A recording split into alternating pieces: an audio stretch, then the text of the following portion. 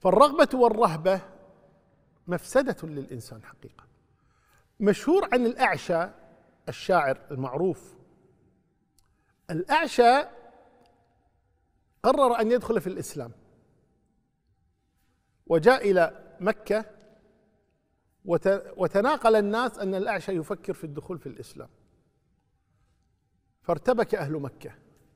قالوا هذا إذا دخل في الإسلام سيكون شاعر الرسول. صلى الله عليه وسلم. والشعر في ذلك الوقت وزارة إعلام متنقلة. فقالوا هذا قد يفسد علينا كثيرا من الناس. فأغروه ألا يدخل في الإسلام.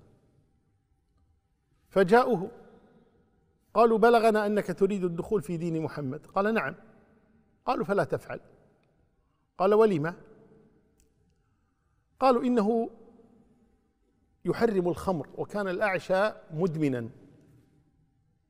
أنه يحرم الخمر يمنعك من الشراب. فقال هذه صعبة يعني صعب أني أترك الشراب.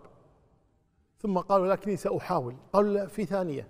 قال ماذا؟ قال نعطيك مئة من الإبل. على أن تؤجل سنة. أجل سنة. وأسلم من العام القادم وخذ مئة من الإبل. قال هذه يسيرة أعطوني مئة فأعطوه مئة من الإبل ورجع إلى قومه ولم يدخل في الإسلام.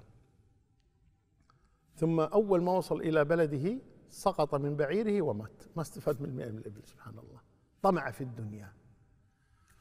وكان الأعشى يعني من شربه الخمر يقولون حسبك من الشعراء امرؤ القيس إذا ركب. يعني الفرس. وزهير إذا رغب والنابغة إذا رهب خاف والأعشى إذا شرب إذا طرب مشهور. قال والأعشى إذا شرب. قالوا وعنترة إذا كلب. وبعضهم يزيد وجرير إذا غضب. فهؤلاء الشعراء منهم. الأعشى إذا شرب يقول خلاص يعطيك الشعر الطيب إذا سكر. الله المستعان. فالقصد إذن أن الرغبة والرهبة تضيع كثيرا من الناس يضيع كثير من الناس بسبب الرغبة والرهبة. نعم.